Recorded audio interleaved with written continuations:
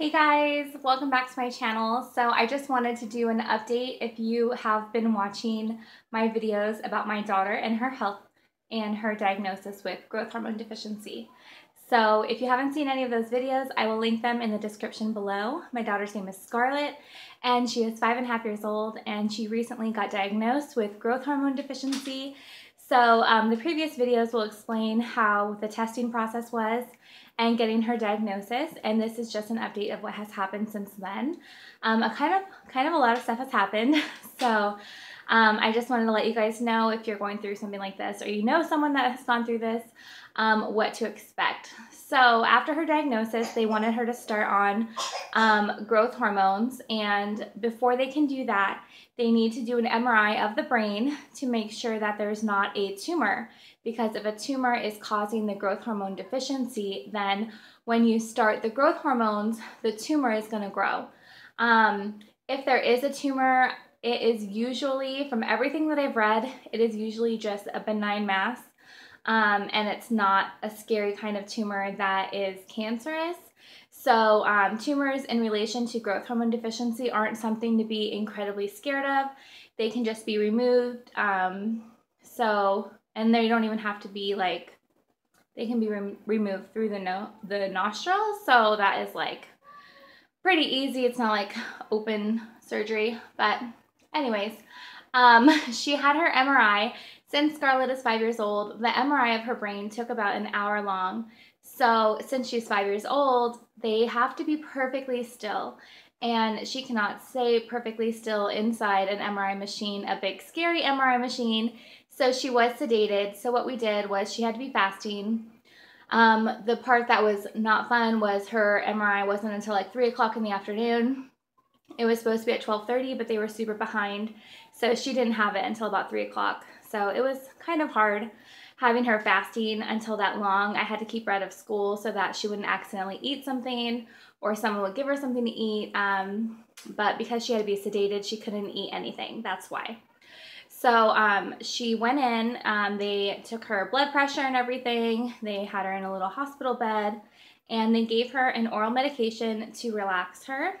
And after they gave her that, they took her away. Um, she was super calm by that point. She was just like, she was scared before that I wasn't going to be with her during the test, but ever after they gave her the medication, she did calm down a lot. And I have I don't know what it was called. They just told me it was something to relax her and for her not to be scared. And I was like, give it to her. so um, I don't know what it was called, but she had that medication. It relaxed her. And then they took her back and they said that they were going to put the mask on her to give her some of the gas medicine to make her sleepy. And once she was falling asleep, they were going to do an IV. And then the rest of the sedation was going to be with the IV. So she was sedated for her MRI.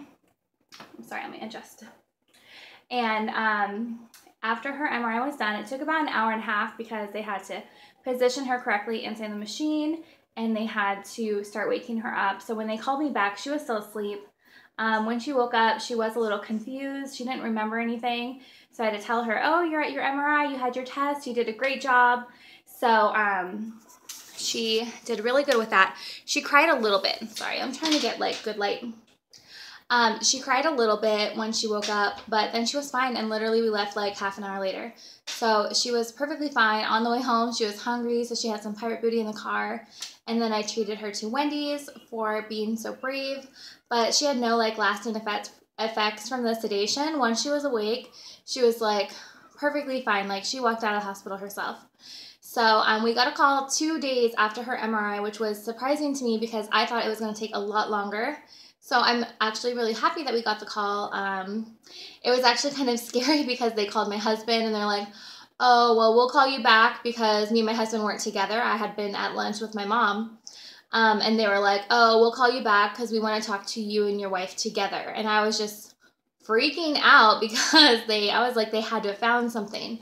So when they did call us back, I'm glad I was there because I had a lot of questions. But they did find something, but it was not a tumor they found the cause for her growth hormone deficiency. So, the cause of her growth hormone deficiency is that she has something called ectopic posterior pituitary. So, the way it was explained to me was when her pituitary gland was developing while I was pregnant, it didn't descend the way it's supposed to.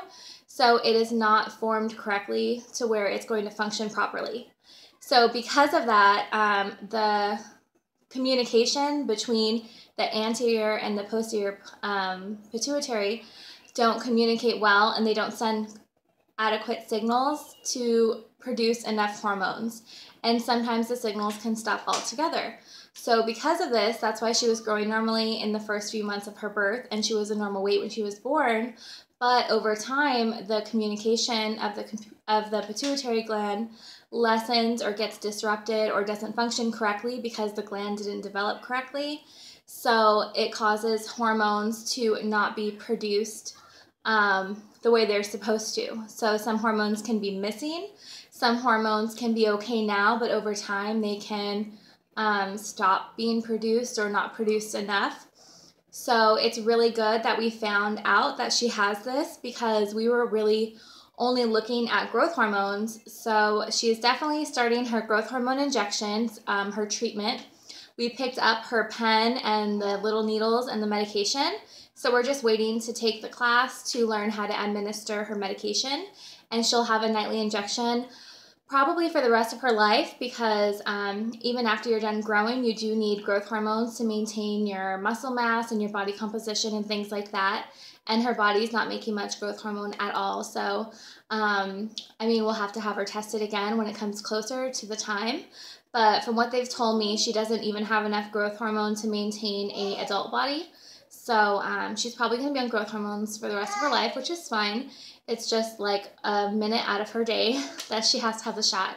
But um, she does know about it now. We've explained everything to her, and we have um, opted with after she is brave and gets her shot, she gets a Skittle for being so brave. So that is making it a lot easier. Um, we haven't actually started yet, but I'll let you know how it does when it, or how she does when it actually starts um, on her treatment.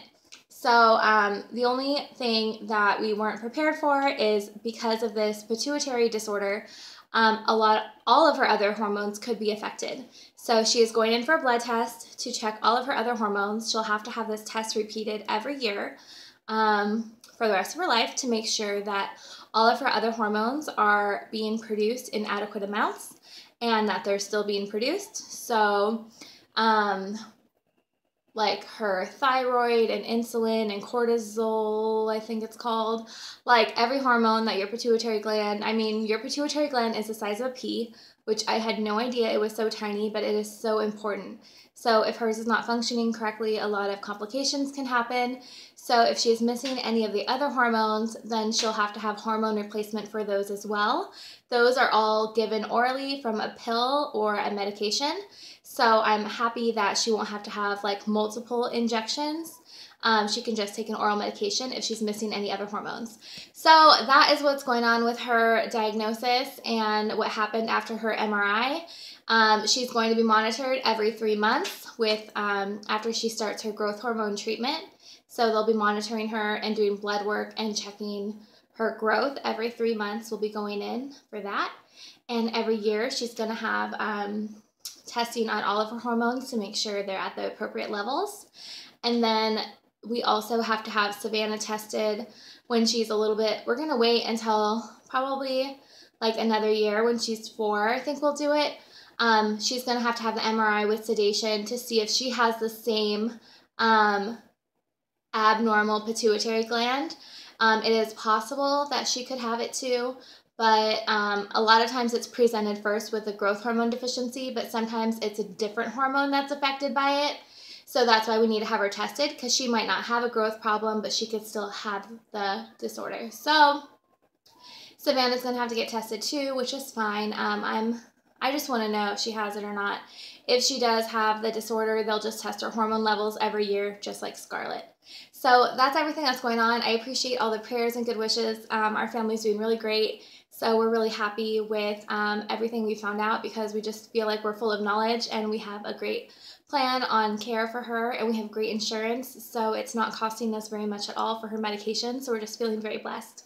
So I just wanted to share everything with you because I know a lot of you have had her in your hearts and our family in your hearts. So I just want to say thank you so much. Um, if you want more updates about her, subscribe. They're probably not going to be as frequent because now we've gone through most of the testing process and are about to start treatment. So I'll probably just do a treatment video in like a month to let you know how the treatment's going. But thank you so much for helping me through this process. Even talking about it is helping me so much.